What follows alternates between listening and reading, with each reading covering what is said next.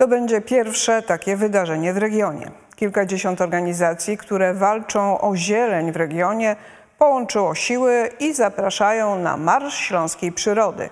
Jak zapowiadają organizatorzy, na rynku w Katowicach będzie kolorowo i wesoło. Jednak będzie też okazja do przypomnienia o tym, jak ważna jest przyroda. Łukasz Kądziołka.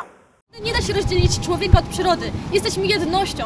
Bez przyrody nie przetrwamy. I trzeba o nią walczyć. Wystarczy przypomnieć sobie protesty przeciwko niszczeniu żabich dołów. Do ochrony takich terenów władze powinny podchodzić poważnie i odważnie. Myślę, że ta śmiałość e, jest wymagana e, wśród e, włodarzy naszych miast, chociażby z tego względu, że zawsze będzie tutaj wchodziła walka o pieniądze i o biznes i o tereny, które można zabudować.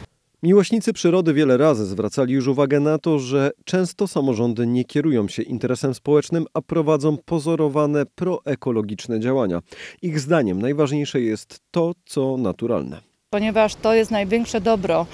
Te sztuczne nasadzenia, te drzewka, które kosztują miliony, one niczemu nie służą. Nawet potem nikt o nie nie dba i ich nie podlewa, więc one schną, nie spełniają swojej roli. Między innymi o tych postulatach będzie przypominać koalicja składająca się z 35 organizacji walczących o przyrodę w całym regionie.